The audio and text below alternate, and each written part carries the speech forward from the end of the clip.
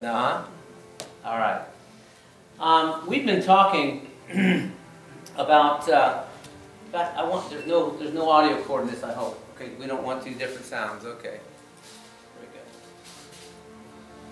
I've got something to start with just before we get into the message, and uh, I, I ran into a news article concerning Israel and the danger that it's in. That was echoed by the newspaper this morning in the Appeal Democrat when my wife handed me the newspaper and I believe all men and women of, of, of faith ought to be praying for Israel. Israel's sitting right now in the middle of a, a, a hotbed of, of, uh, of armies that are about ready to attack it. Let me share with you what we've got. I'll put it up on the screen. I don't know if you can see it or not, but we'll try. This is the uh, Israeli Defense Chief, Aviv uh, Kochavi, and here's what he said. He writes, IDF intelligence head Aviv Kochavi gave a chilling presentation Thursday morning. The Herzliya Conference of Israeli Policy telling listeners that Israel's enemies had 200,000 rockets and missiles pointed at their country and could reach all parts of Israel, even the ostensibly safe center of Tel Aviv and its suburbs. Most of the missiles have a range of about 40 kilometers, range of Qassam and mostly Katyusha rockets, but thousands of missiles have ranges of hundreds of kilometers, making every location in Israel now within their reach. Not only that, but the missiles are more lethal now than ever before. The warheads on these missiles contains hundreds of kilograms of explosives, not dozens as in the past. And their firing precision and ability to hit specific targets is also greater, Kochavi said. The rockets are largely located in Lebanon and Syria, with smaller amount in Gaza and Iran as well, which has thousands of missiles that could reach Israel. Every 10th house in Lebanon is now a weapons depot, Kochavi said. Besides conventional weapons, Israel is also facing a nuclear threat.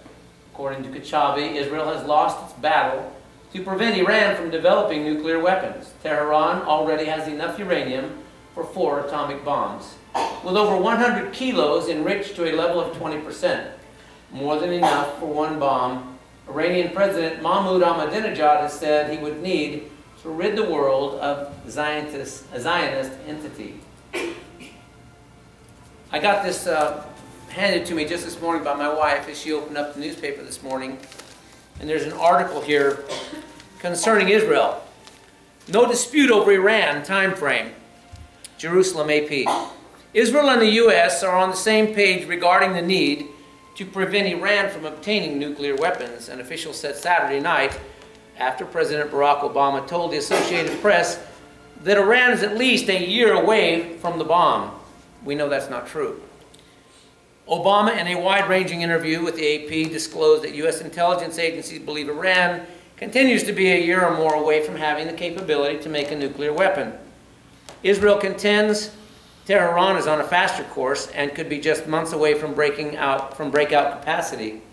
The remarks come after Prime Minister Benjamin Netanyahu returned from the United States where Iran was the main topic of talks with President Barack Obama.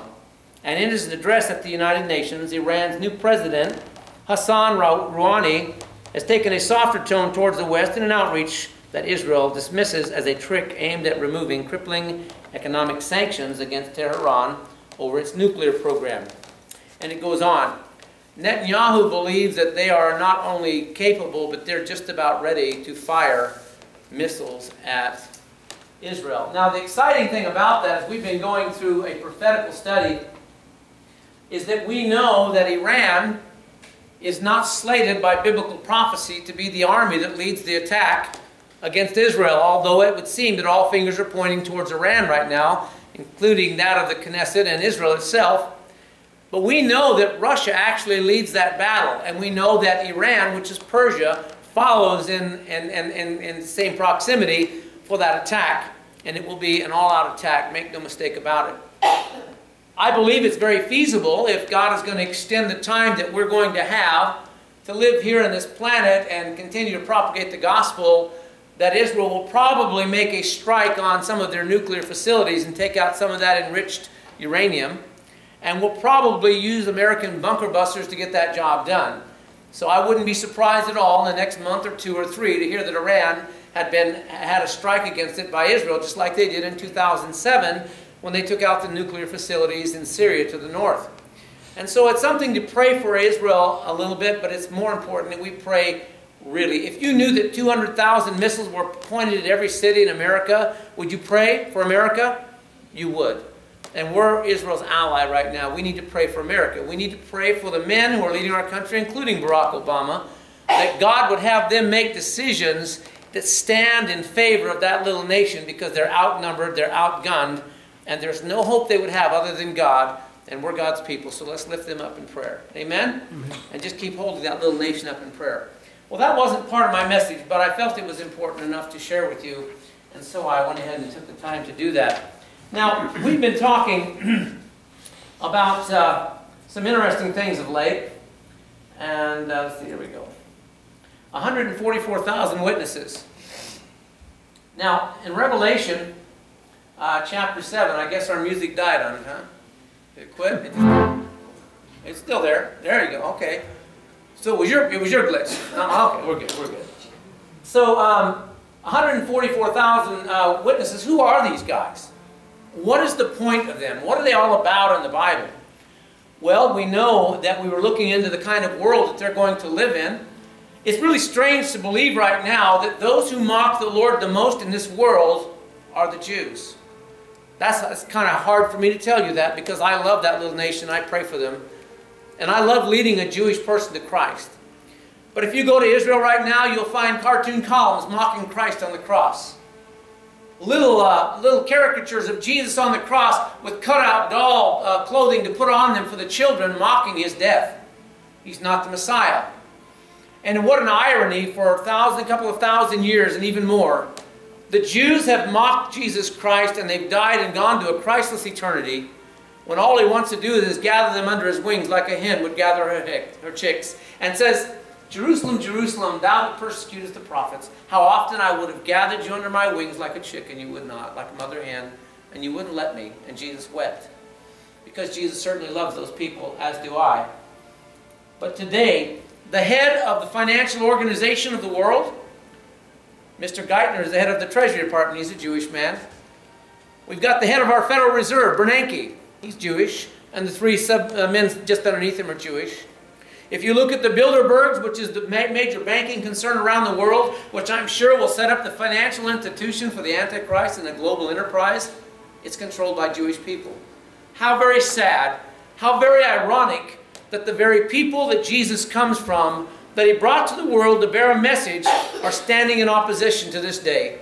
As we heard about the Jewish people stoning Stephen, and there Stephen knelt and said, I see the heavens open, and I see Jesus standing at the right hand of the throne of God. How terribly sad for Jesus, day by day, looking down upon those whom he loves, and they would not. I want you to know I reach out to Jewish people. I want you to know I win them to Christ as fast as I can because let me tell you something, there's no one more dynamic of an evangelist or, or a Christian than a Jew who gets completed. Amen? Because all of a sudden they get it. And we're going to be talking about some men who are going to get it. I believe these 140,000 men are alive today.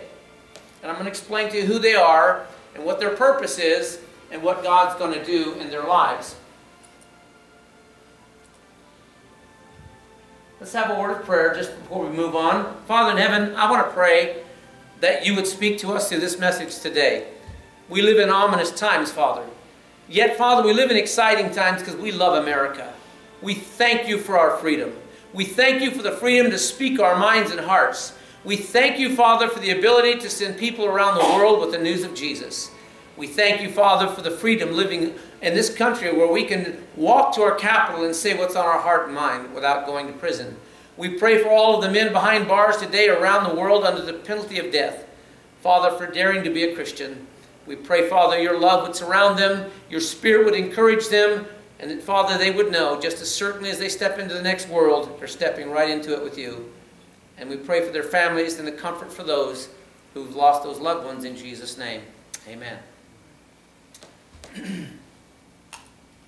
now, God's messengers of hope is who these guys are. And I'm going to review quickly. It's going to be going by kind of quick.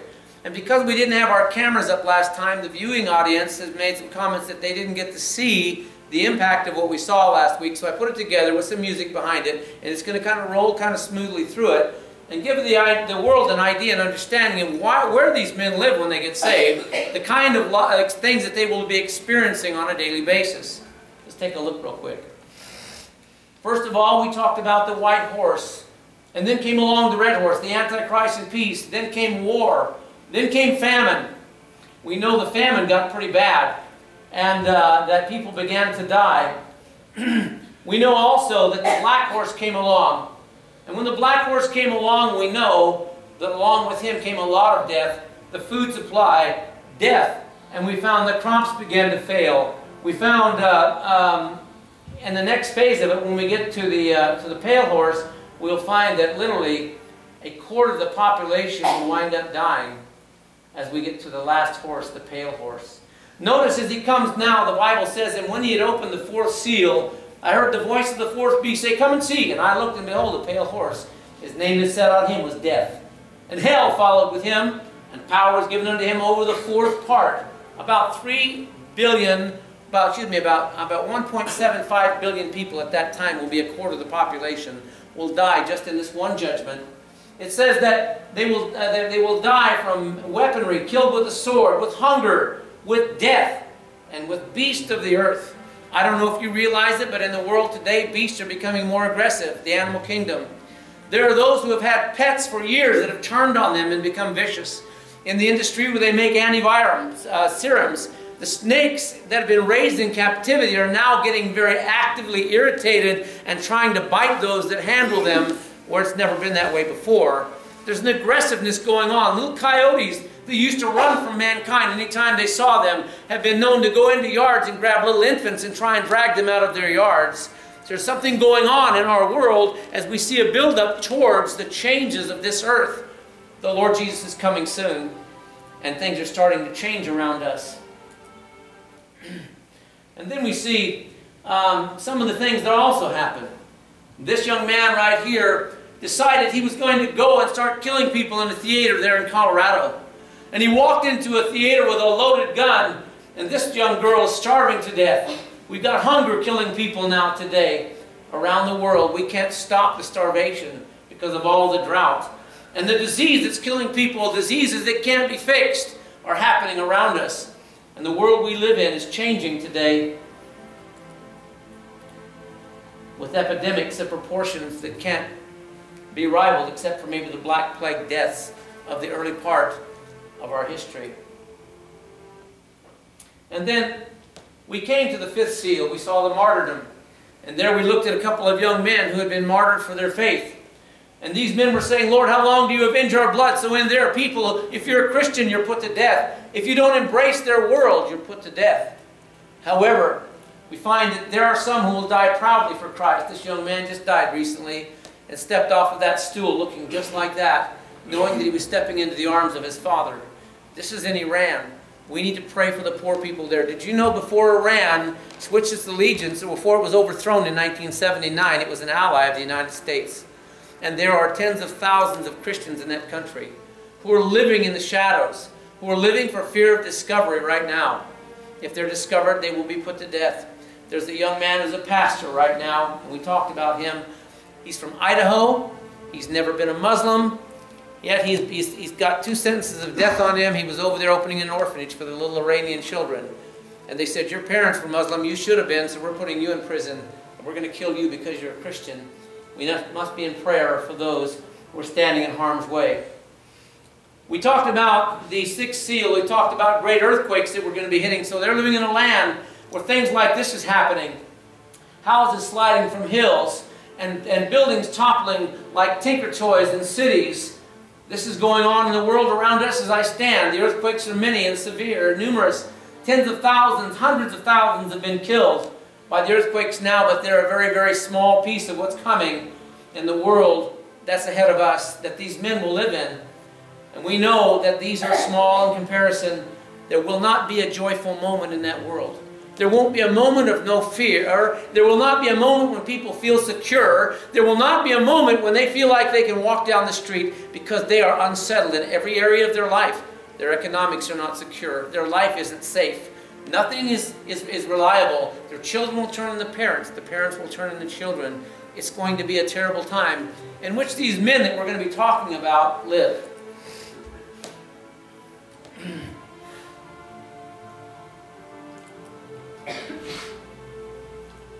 And then we know that the asteroids would come. And God said that there would be signs in the heavens and things would start to happen. It says, and as the uh, um, stars of heaven fell to earth, as a fig tree drops its late figs when it is shaken by a mighty wind. And we know that the sky will begin to give up asteroids from the, the Kuiper asteroid belt. And as they come plunging into Earth, they will fragment and they will shower the Earth in, in bits that will take out a lot of life and kill a lot of people. It's going to be a fearful time when the things that we see missing the Earth quit missing it and start making contact. We discussed these things at length last week. That was a picture from just a month or so ago of an asteroid that came by as a red, red ball of fire blazing through the skies, and the sound, breaking of the sound was so severe it dropped a three-story brick building and blew out all the windows in the town as it passed over in Russia.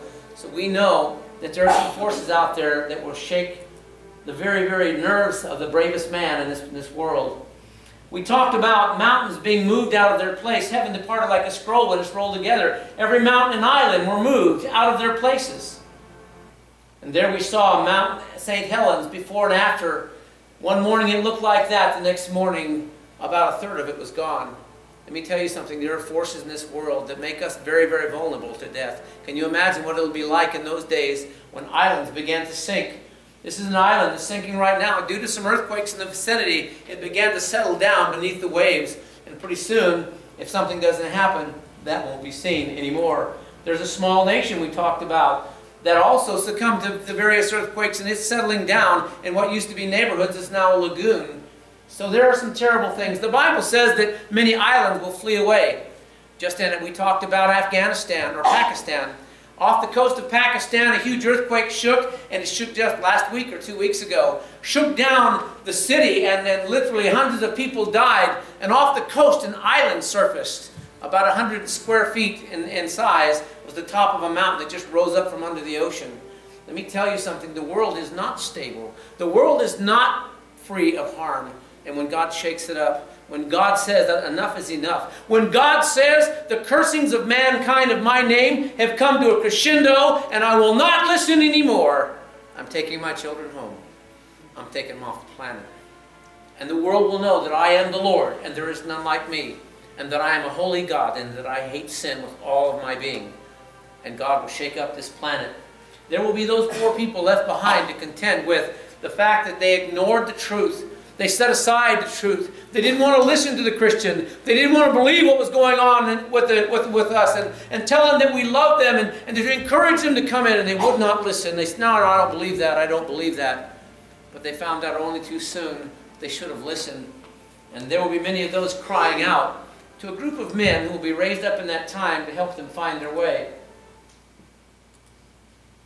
So these witnesses of Revelation chapter 7 verses 1 through 17, and also will be in the 14th chapter, is the topic of our subject today. What do these men do exactly, and how in the world do they come to know God? I mean, these are men that uh, they're Jewish, and the Bible says in Revelation 7 1, after these things I saw, oh, went a little too quick on me there. Let me see if I can, well, I'll, I'll turn my Bible from it. Let's let it play out. I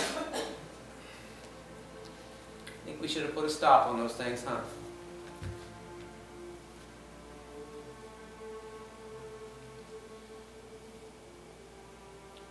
I heard the number of those who were sealed, 140 and 4,000 of all the tribes of the children of Israel. And after these things I looked, a great multitude which no one could number, clothed in white linen with palm branches in their hands. And crying out with a loud voice, saying, Salvation belongs to our God who sits on the throne and to the Lamb. Let's open our Bibles up, if you would, to Revelation chapter 7, verses 1 through 7.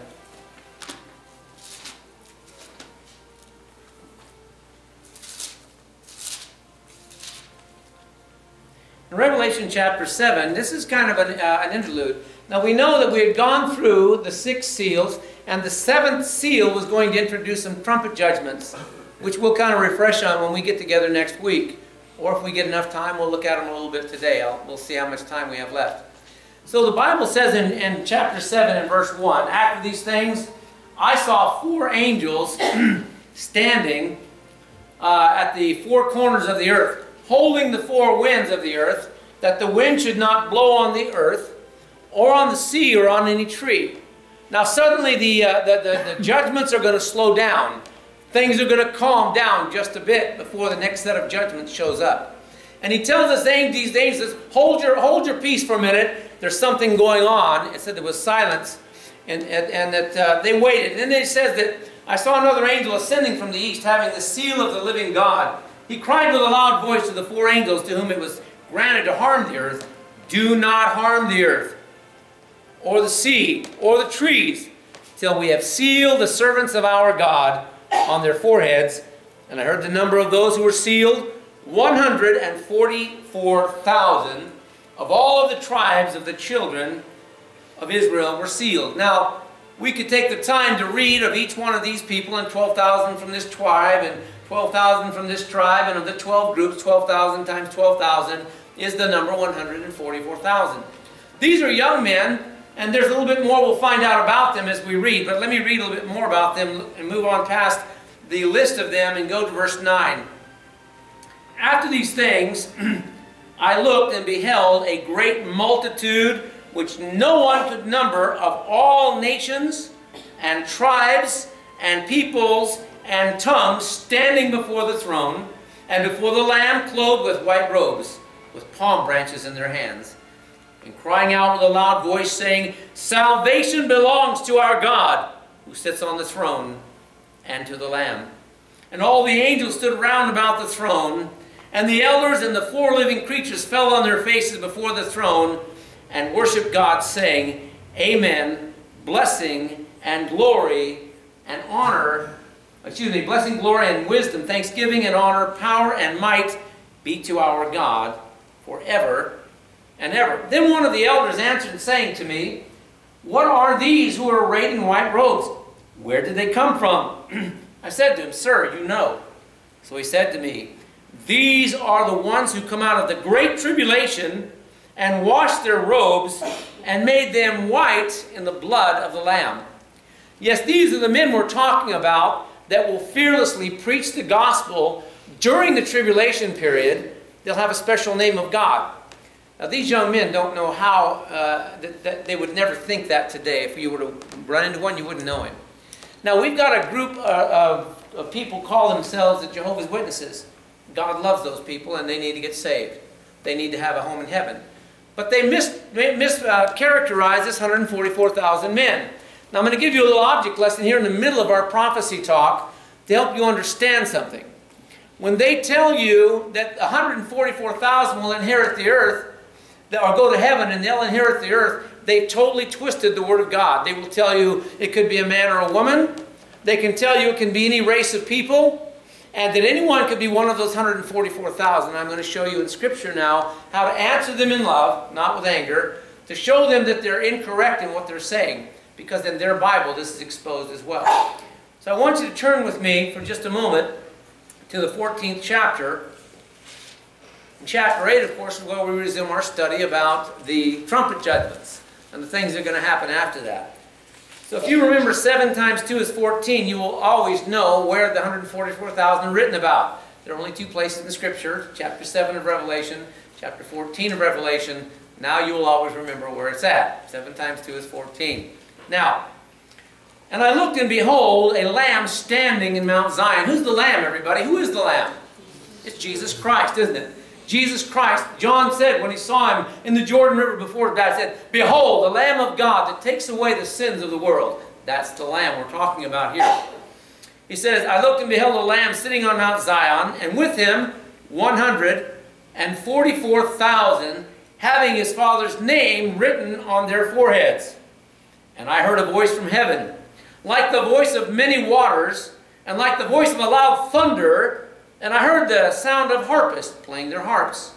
And it sang as it were a new song before the throne and before the living creatures and the elders that no one could learn that song except the 144,000 who were redeemed from the earth. So that's where they get their scripture that says they are redeemed from the earth. They will be, but they're redeemed through death in the tribulation period. If they're caught preaching the word, they're put to death. That's what happens to them. Now it says, These are the ones who are not defiled with women, for they are virgins. Now, for them to tell me it could be a woman or a man, they haven't read their scripture very well, have they? These are young men. They're probably very young. I'm thinking probably 25 or, or, or under. They've never married. They've never had a wife. They've never uh, slept around. These are young men who were probably very, very, very strong followers of Judaism. Probably following the Torah and the, and, and, the, and, the, and the teachings of Judaism. But God wakes them up. And how does that happen? Can you imagine if, it, if, if you were one of them? And you've been proclaiming to everybody, listen, these Christians are crazy.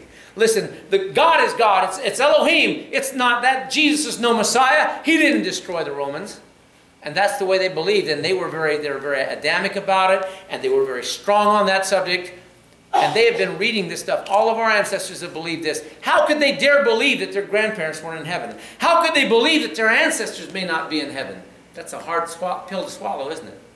And then suddenly, all of the Christians vanish in a twinkling of an eye, and the children are gone. And these poor young men are left with the stark realization we were wrong! We were wrong! We've been lied to! If we'd only listened, Jesus was the Messiah. He was God. Those Christians, they warned us, they told us, but we didn't listen, and now it's too late. Well, it's not too late for them because God has a special mission for them, but it's going to be a rough mission. It's a mission I wouldn't wish on anybody because these men will be handled roughly and persecuted and put to death and probably tortured as well.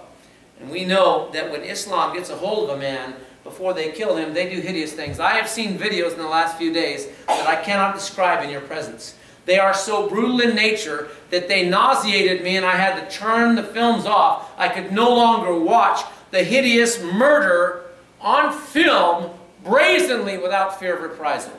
That's what they do. And let me tell you something, those people that you love, that you want to get to heaven, you need to get busy and tell them now. Because someday I believe that Muslims will take over America after we're gone. I really do. You know, we saw that little scene of God Bless America, and they were singing. Did you see the scene with the, uh, uh, in the Seattle, the, uh, the, the Space Needle in Seattle, when that scene came across there? I remember one day when I was dying of cancer, I went and stood in the, in, in the Space Needle because I was up there in Seattle. I made my way there and I stood and I looked out of those, uh, those bars that, that keep you from falling off and I stood there looking at it. But then my mind immediately flashed to the districts where you see nothing but Muslims walking around with their heads covered up in their special garb. And, and, and I mean, converted Muslims. They have done such a good job. There are a lot of people of every walk of life that have converted over to the Muslim faith. And believe me, America, there's been a, uh, it's called uh, a societal jihad taking place for the last 25 or 30 years. They come in and they go to school. They, they rise up through the ranks and they get good grades. And they're bright people. They're smart people. There's nothing wrong with their intellect. And they grow up and they become doctors and lawyers and professors and even heads of schools. And now they're reaching out and pulling more and more young people in with their teachings. And little by little, the population of America has been infiltrated by an antichrist movement, and they don't even know it. These are people that have families. These are women that have little children. These are men who love their little boys. These are people who have feelings like we do, and they've been lied to over and over again. And they believe that soon, because there's trouble. Now, right now, did you know the Muslim world is all... Did you do that, or did I do that? Oh, thanks. I thought the rapture took place. Is that the horn? Did, did he blow the trumpet? you know. But anyway, um, so uh, what was I saying just before that? okay, we were talking about the Muslim world. We were talking about the Muslim world. And uh, well, I, I, lost my train of thought. Well, we'll get, we'll get back to it in a second. At any rate, so we have a world that is changing before us, and we have a, a growing group of Muslims in the world who are taught wrong. I said, these are good families, by the way. These people only do what they believe. Oh, I know what we were talking about. Right now, the Muslim world is all excited over the war in Syria. You say, what do you mean they're excited? They're very excited. Why are they excited? Because in their faith, they believe that Isa is coming back. You see, Jesus Christ is called Isa by them. They believe in Jesus Christ. But they believe he's the prophet of Muhammad. And, I mean, of Allah. And he will come down with Allah to kill every Christian and every non-Muslim in the world. And they believe it's going to happen when there's a battle over Damascus in Syria. And with all this stuff going on with Bashar Assad and the gassing of their own people and the shooting of their people, they're all on pins and needles. In fact, they've got websites up right now that's saying it's almost ready to happen. We're ready to leave. It's almost here. And they're excited. I mean, they're just, uh, there's a frenzy of activity going on on the internet among the Muslim world. They're excited because they're finally going to get their reward, but they don't know it's not a reward at all. And they've been fooled. They've been fooled by Satan, who's so deceptive. The white horse, deception, He's done his job well. These young men are alive, as I said earlier. They're going to, uh, they live in various places around the world. They live all over the, all over the globe. You see, one of, the, one of the interesting things about it, when the enemy came in and persecuted the Jews and scattered them and they ran for their lives to every continent on earth, actually they thought, wow, man, the enemy's winning. God's people have been exploded like a bombshell. There's no remnant of them. They're gone. They're, they're, they're through. And then, of course, God brought them back in fulfillment of prophecy in 1948. However, many of them stayed in the countries from whence they came. There are today tens of millions of Jewish people around the globe. They're in South America. They're in uh, uh, British Columbia. They're everywhere. They're all over. They're in the United States. They're in Japan. They're in China. They're in every country. They're in Moldova. They're in all these little countries in the world. They're everywhere. They're in Russia. They're everywhere. Who is more perfect to do the job of telling people about Jesus than someone that speaks the language and knows the culture and looks just like them? Amen? So God will raise these young people up and all of a sudden out of the shadows and the dust of their dispersion, what was seeming to be a victory by Satan, all of a sudden, these guys rise up and they're at warrior status real quick. They rise up and they're prepared to die for what they believe in. They rise up and they're prepared to boldly proclaim that Jesus Christ is the Messiah and there's hope for a dark, fearful world. Now, as we thought about this world a little bit, we looked at it, and it is fearful. We're going to be looking a little bit more at it. I'll refresh a little bit of the trumpet judgments, and we'll move a little deeper into the kind of world that they're going to be living in here in just a moment. So they cried out with a loud voice. Now, we do know that uh, also in the 14th chapter, it said that um, I saw, it says, these were the uh, 144,000 redeemed from the earth. It said they're virgins and they follow the Lamb wherever he goes. Wherever he tells them to go, they go. These were redeemed from among men, being the first fruits of God to the Lamb. The first ones, they're going to die if they're caught. But they'll have a big following. I believe they'll lead a lot of people to Christ before it's over. Now, what's the one thing about that time that's really scary? No Holy Spirit to live in them. I believe the Holy Spirit will come upon them like he did in the Old Testament. I believe he will come upon them in protection. And just like Samson, the Spirit of God came upon Samson down in Ascalon. And he slew a thousand Philistines with the jawbone of an ass at one time. Only God could have given him the ability to do that. And I believe these men will have some supernatural help. I believe that God will protect them from a lot of the diseases and things that are going to go through the world. God says it won't come near them. It'll, they'll be protected from some of these things. And God's going to raise them up to do his bidding because God is never outgunned by the devil, not in his best day. God can take anything and win because God is God. And Satan was created by him. He's no match.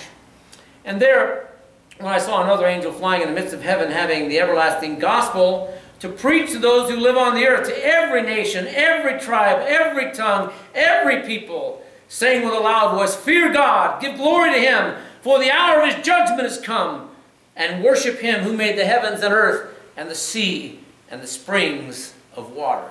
And that's where we're going to stop in our, our discussion of our, of our men. That's what they do. And God's going to take them out to do a mighty, mighty, mighty work. Now we're going to be looking a little bit more into these trumpet judgments because the world is still shaking and reeling. In the midst of all of this, these men wake up. Can you imagine how fearful they've been up until that moment? Can you imagine that, that they're struggling to get through, but yet God is protecting them and they're making their way and they're telling people about Christ and they're watching the world crumble around them? And we're going to see some of the conditions of the world and it's really frightful. let me share with you. Let me, uh, I, I might have, well, I guess this thing isn't gonna, is gonna work for us again, but let me get past, we already talked about it. We've already gotten through that, so let me move on a little bit.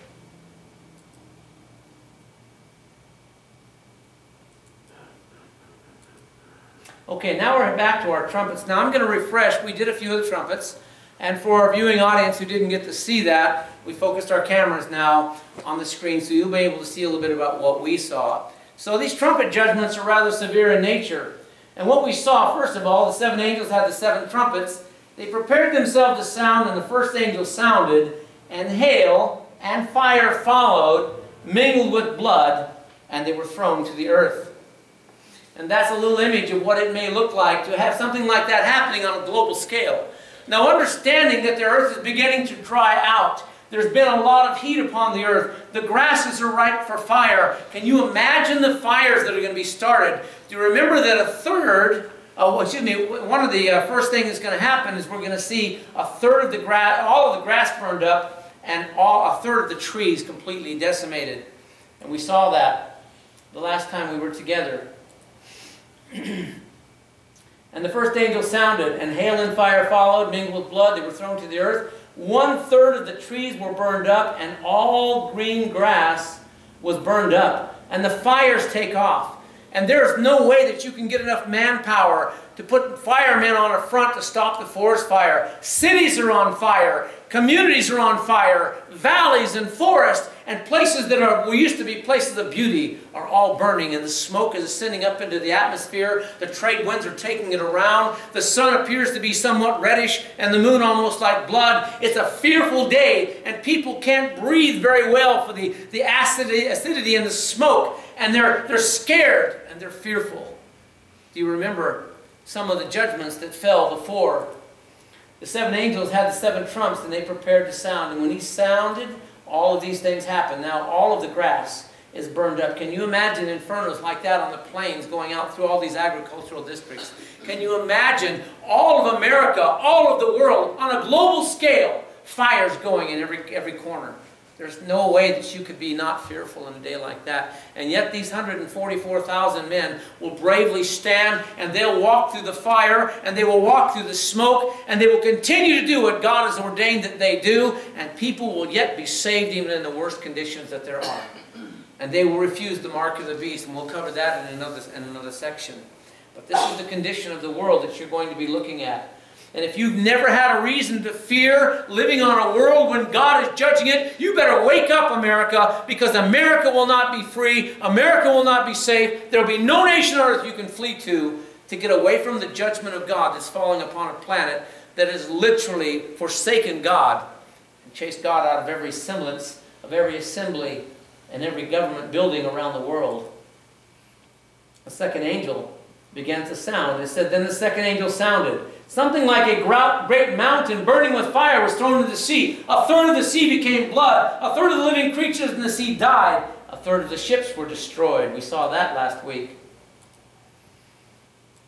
there was a mountain on fire, and we talked about some of the, the things that would happen as a result of that. We talked about the tsunamis that would literally be a mile to perhaps two miles high. Who knows how high they'll actually be? Depending upon the size and the density of that asteroid, when it hits the ocean, it's going to do some devastating things. And it's going to turn the sea into blood, destroy a third of the shipping. It's going to destroy life on a catastrophic scale. Uh, scale. Another quarter of the population dies in the remaining years that live in this world. People are dying everywhere. A third of the sea becomes blood. That's an actual photograph I showed you last week. This particular picture is of an algae that's called um, uh, red tide. The red tide, when, when it touches the fish, the fish gets cancerous sores all over it and it begins to die. If you should pick up that fish, it will actually put cancerous sores on you if you're not careful. And you certainly can't eat that fish. It's poison. It's no longer able to be eaten. I believe that the red tide is not going to be necessarily what it is. I believe the sea is just going to turn to blood, just like God said. I don't think that's a problem for him. He spoke this world into existence, and I think that's what's going to happen. This is an actual photograph. That is not a doctored photograph as well. This is tens of millions, tons and tons of fish killed by that red tide. laying there, and the stench of that stuff is, is, is you can imagine. Have you ever smelled a, a, dead fish that's been laying out for just a day or so? Oh my gosh, it's a horrid smell. Can you imagine billions of them going along with the acrid smoke of forest fires, mixing now in the smell of death, blowing around the planet? And let me tell you something, it's getting hotter on Earth. Things are changing in the planet. The cycles are getting messed up, and they're about ready to take another hit. They're going to get another problem right in front of them. A third of these ships were destroyed. I showed you this last week. And there's a ship that's being literally blown over by a wave of bloody water. And then the third trumpet sounds. And a third of the fresh water was poisoned. We thought about that. Can you imagine fragments of a meteor going into the fresh water supply? You see, let me tell you something. The water supply is filtered by trees and plants and things on the earth. It's a filtering system. The rain comes back down, it goes into the soil and filters down through all of that stuff and gets to the water table and runs back out. And we find it in our rivers and our wells. But when that stuff gets poisoned, we're going to have some serious problems. There's going to be the thing pulled down, particulates pulled down from the air, poisonous in nature. And anything that drinks it, be that an animal or a person, would die. The fourth angel sounds a trumpet, and day and night is shortened by a third. And I think we got about this far last time. Day and night was, was uh, shortened by one third. God speeds up the, the, the uh, turning of the earth, and and 30% faster, about 300 miles an hour faster, we're exposed to one-third less daylight of the sun every day. One-third less daylight. You know what that's going to do, though? Now, God set me down last night, the last couple days when I've been working on this, and put my thinking cap on. Because I like to think in terms of science and the way God has made things, because God is an amazing God. And I'm fascinated by what He does. And when He tells me He's going to do something, I know He can do it, and He always shows me ways that it's easy for that to happen, being God, of course, if you could do that. But what's going to happen is we're going to see less sunlight. And when there's less sunlight, there's less life. How many of you know what photosynthesis is? Photosynthesis is the process by where sunlight comes from... The, did you know that everything on this earth is run by the sun, including your body? Everything about you. You cannot exist without sunlight. The sunlight is the very cells of your tissue. All the energy from the sun is running your body. You say, really? I'm like a solar panel? No, no, no. Let me explain it to you. Photosynthesis is really not hard to understand. I, I put a little chart up here for you because I thought it might make it a little bit more easy to look at. First of all, we get sunlight, and it comes in the form of energy, and it comes with red, blue, and green rays. The green rays are not accepted by the plant, and they literally go into the tissues and turn the plant green. That's why the plants are green. The energy is stored in the blue and the red rays, and it turns into a chemical transformation called chlorophyll. Now that chlorophyll is, is what makes sugar and starch and carbohydrates and these types of things. So now when the grass turns in, by the way, there's little tiny holes inside those, uh, those leaves there that allow nitrogen, carbon dioxide, excuse me, carbon dioxide and water to seep into it. It also picks up the groundwater from underneath with a little nebula of tendrils that, that, that are formed. They're formed by the energy of the sun, by the way. That mass and that cellular stuff can't form unless the sun is coming in to make it grow. And so it begins to take the minerals of the earth and the sun's power adds to it and it creates a plant that can also breathe out oxygen. You see, as the plants die, our oxygen is dying. As the trees die, our oxygen is dying. We've got trees that must have 24 hours uh, or every day full sunlight. They can't be in the shade. There are some trees that do okay in the shade. Some plants do all right in the shade. But there are other plants that if you don't have them in the sunlight, they will die. And the ones that are feeding us the most are these plants that must be in the sun, the forest and all of the trees. Did you know across America and around the world, the vast forests of America are starting to die? I, I went to the internet, I was amazed. I saw picture after picture after picture of, a forest dying in front of us. In fact, I think I put them on here. I'll show them to you. But at any rate, so we see then the oxygen is released. So when the cattle come along and eat the grass, they're eating the stored energy of the sun and is causing their tissues to be energized by the sun. And the cells that they have are empowered and created by the energy of the sun. And when you eat the meat from those cattle, you're getting the energy of the sun to recreate cells in your body that are run by the sun. Did you realize how important the sun was? Now, I'm not going to go lay out and get burnt up like some of these people do on a beach. I'm not that, not that foolish, but I know I need sunlight. Did you know that when you're out without sunlight for too long? I remember when I first moved to this area, there were several months, three months, that it did not shine down in this valley. It was the hardest thing in the world for me to do. I lived up in Penn Valley. And I was driving down to the church I pastored, Linda Baptist Church. And I had to drive down into that soup every day. The cloud layer was laying across the mountains, and up above it was this gorgeous, crisp, beautiful sunlit day. Then I had to drop down into that soup. And I sat in my office and doing my work, and oh, it was so dreary and so miserable, it just seemed like. Psychologists tell us that if you do without the sun too long, it starts affecting you mentally. It starts causing you to not be happy. You start losing something, a good feeling about what's going on. You need sunshine. If you're ever having a bad day and there's a lot of fog out, jump in your car, run up the mountains, you'll feel better. Amen? So we need sunshine for everything in this life. Every bit of food, every animal, every human being is powered by the sun that God set out there. If you think that we're, we, we showed up from evolution, you just don't understand your God. It's too complex. It, it's just, just impossible for all of these things to have come together the way they are to make us live. God did it. God designed it. And it's wonderful in His design. Now, um, this is just some of the forests that I looked at. Forests that are starting to die across America. There's no real good reason for it. They're getting plenty of sunshine. Something's going on and our sun is starting to die. Our crops are beginning to die. Can you imagine what it's going to be like in that day? 55% of the food loss in the world is due to drought, crop failure, is what's going on. Now, if you shorten the sunlight up and they don't get enough sunshine, they're going to die even faster. That means there's going to be less oxygen. It means also that the atmosphere is pulling closer to the earth. And now the smoke is getting closer from the upper atmosphere down around you. And people are literally putting cloths that are wet on their mouths, going back to and fro from places. I imagine selling oxygen masks from the oxygen industry would be a pretty powerful thing in those days. That's going to be pretty bad. And so there's going to be some rough things going on. Now you'll notice that all of those plants, I put a little water filter thing for you to look at to give you an idea. There's your water table underneath. And as the rain, uh, and by the way, how does it rain? Well, what happens is that, that the earth, the landmass, gets hot. When the sun comes down, it's not hot if you're standing in the shade, is it? You can look at it it's, it's fine. But if you put your arm out into it, don't you feel your skin starting to warm up? When it touches your clothes, whatever it touches things, those things begin to heat up and absorb energy. That's exactly what's going on. They're absorbing the energy of the sun. Now, when you, when you have a non-filter, that's filtered water. When that's dead, believe me, all the poisons and all the things in it will just filter right down to the ground table. And by the way, those things aren't giving off oxygen, so it's a steady pace towards not enough oxygen to breathe. People, you talk about smog in Los Angeles. Remember back in the days when Los Angeles was so thick you couldn't even see through it? I can remember down there when I was going to a church down there where I first got saved, you could look out on days and you couldn't see a half a mile in front of you. You couldn't see a quarter of a mile. And it was that. I think it's going to be very similar to that. They kind of cleaned up their smog now, but believe me, that stuff's coming back. It's going to be a bad day. And then, also, food insecurity. The food supply is going away. It's, it, we're, we're not able to eat. What's going to happen to society? Well, I believe food insecurity means that a household has limited or uncertain availability to food.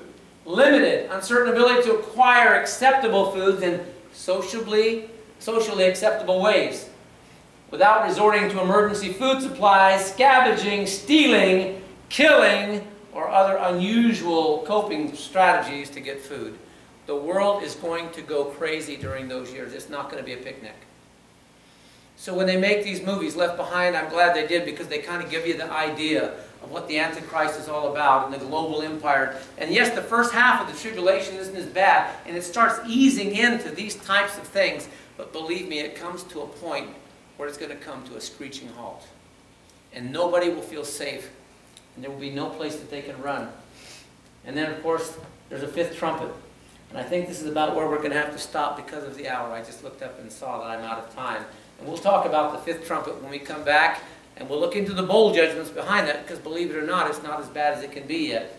It's still okay on Mother Earth in that day, but it's going to get worse. Let's bow our heads for a word of prayer. Father in heaven, as we think of this tragic circumstance, set of circumstances coming to the world, we know it's the righteous and pure judgment of God against an unholy world. And Father, it's our heart's desire that we would reach men and women, boys and girls for Christ, and love them enough to get out of our comfort zone. Love them enough to tell them about your salvation, to tell them about your, your death on the cross, and to let them know that we care, and, and to not look down at them, but to look at them as though we've escaped our sin, they haven't. We're a sinner, they're a sinner. We've just been forgiven. They haven't found out how yet. We pray, God, you would help us work on our lives because, Father, some of us are living lives that don't really display who you are. Father, sometimes we say things that if it were to be spoken in this building here, people would look at us like, wow, I, I thought you were a Christian.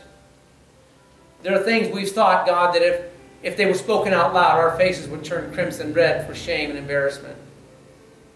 Bitter thoughts, angry thoughts, perhaps even lustful thoughts. And Father, we would pray, God, that you begin to move in your spirit, move your spirit within our hearts. We need a revival, dear Lord. America needs a revival. We need a revival. God, you said if, if we who are called by your name would humble ourselves and pray, if we would seek your face, God, you said you'd turn and you'd forgive us if we turn from our wicked ways. You'd forgive our sins and heal our land. And Father, we need you today. Father, we are not strong enough to stand here by ourselves in these last days. As watchmen on a wall, and those who are to defend the faith of Jesus Christ right now. There are men, Father, right now so caught up in drugs they can't, they can't think of anything but. Women who are so caught up in them they don't take care of their children. People are losing their hope and they're losing their way. And God, we're the only one that's got a hope for them. We pray you'd help us to care. Help us not just selfishly take care of us and have our needs met and our things and forget about them in the process. What if somebody had forgot about us? Father, so we pray that you would move our hearts to care for those. And Father, I pray also that you would give us as your people a great sense of peace. Father, we know where we're going. We know, Father, we're leaving here soon. But in the meantime, America's free. We're living in still part of the good part of it. And we pray, God, that we wouldn't waste one day of it to pray for somebody else, to encourage somebody else, to share a smile with somebody else down the street, to see someone who's down and out and maybe they would listen to me. Maybe they would listen to me and, and take an invitation to come to church. Maybe I could do something positive. And so, God, I pray that would be the heart's cry of every Christian under the sound of my voice. Say, God, here am I, send me. Send me. Let me do my part. Our heads are bowed and eyes are closed. I'd like to ask a simple question. How many of you could say, Pastor, I want you to know something. I am so glad that I can say I am a born again Christian and I lift my hand high as a testimony to God's love and saving grace. Could I see your hand? Slip your hand up high as a testimony of God's saving grace. God bless you. That's so awesome. And Father, I know, Lord Jesus, maybe in our internet audience, there are people who did that as well. But if you're watching by internet and you don't even know what that means, oh, listen, I would be remiss if I didn't stop to tell you that Jesus loves you. And I want you right now, as you look at me, to think this thing. I want you to say, Lord Jesus, I know I'm a sinner. And I know I should die for my sins, but oh God, I need your help. And I know you died for me. And I'm ready to turn my life over to you. I'm tired of the sin in my life. I want to turn my back on it. God, I believe you died on the cross. I believe you are the Son of God. And, and I believe that you rose from the dead. And I want your spirit to come into my life. I want to surrender myself to you. If you pray a prayer something like that, I promise you today, God says, For whosoever shall call on the name of the Lord shall be saved. He loves you. And so if you've never prayed that prayer, I pray you would today. For those of you here today, how many of you slip up your hand and say, God spoke to me about a need in my life, and I'd like you to pray for me in the closing prayer. Could I pray for you? Slip your hand up. God spoke to you about a need in your life. Yes, God bless you. And a hand over here. Another hand here. Another hand over here. Something God spoke to you about, something He touched your heart about, something you thought about while you were listening to the message. Yes, God bless you. Several hands are lifted. I never want to close the service without giving people an opportunity to come and pray. We've created an old-fashioned altar here with these chairs put down here in the front. We've also want you to know that I'm more than willing to pray with you if you want to pray with somebody. If you need someone to pray with you, let us know and we'll pray with you. But would you come at this time? If God has spoken to your heart and you have a need that you want to pray with someone about it, you'd like to come down here and pray, feel free to come on down and I'll pray with you here or you can pray alone.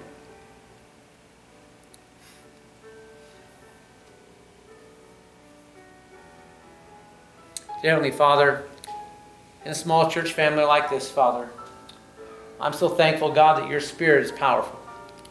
Because though we're few in number, your Spirit is great in each one of us.